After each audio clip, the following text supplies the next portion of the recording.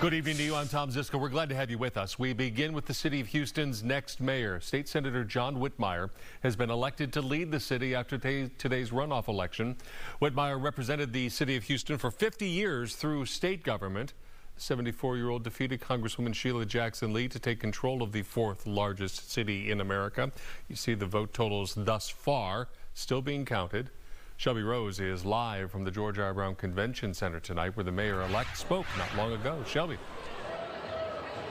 Hey, good evening. Yeah, it was just a little over an hour ago when we first heard from Mayor-elect John Whitmire, and he's still here at the George R. Brown, greeting his supporters, shaking hands, and taking photos. It was about 9 o'clock when he took the stage, alongside his two daughters and grandsons, as well as a couple former, now former colleagues of his, Representative Sylvia Garcia and Senator Carol Alvarado. Now, when it was his turn to take to the mic, he, he thanked a long list of people, including his family and friends, his staff members, and everyone that helped him get to be the mayor of Houston. Now, he also reiterated the fact that he believes that we live in a great city while also admitting that there is work to be done, saying, quote, the first way to solve your problem is to admit you have one.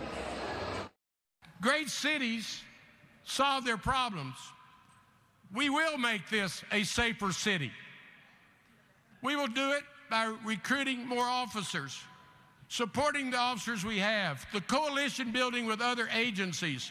Our infrastructure will be repaired and fixed, not only streets, but water. Great cities do not boil their water for two days. Together, we can solve our problems. And we also had the chance to speak with Houston Police Chief Troy Finner, who was in the room tonight. And we did ask him how he feels about Mayor-elect Whitmire now being the person to run the city. He acknowledges that Whitmire does have a lot of respect, while adding that it's important that everyone works together.